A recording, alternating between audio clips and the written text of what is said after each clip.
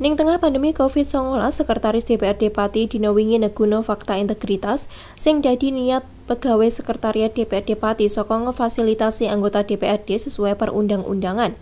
Kaya sing dijadwalno mulai dina wingi nganti dina Kamis esuk, anggota DPRD bakal nglaksanakno reses ning daerah pemilihan dhewe-dhewe karo merhatikno protokol pencegahan COVID-19 saksuwene reses.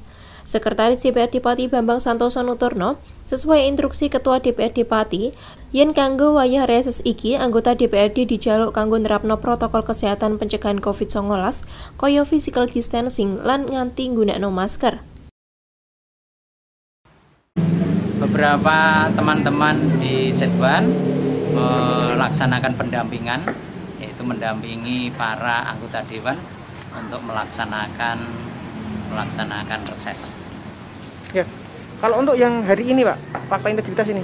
Ini dalam rangka untuk meneguhkan kembali niat kita sebagai pegawai sekretariat DPRD Kabupaten Pati untuk senantiasa bisa memfasilitasi para anggota dewan dengan baik dan sesuai dengan perundang-undangan sehingga perlu kita mencanangkan yaitu fakta integritas bagi semua warga yang ada di Sawetara fakta integritas iki saka rangka neguno neh niat dadi pegawai sekretariat DPRD Pati kanggo senantiasa iso ngefasilitasi anggota DPRD sesuai perundang-undangan sehingga perlu dicanangno nih fakta integritas neng lingkungan sekretariat DPRD Pati.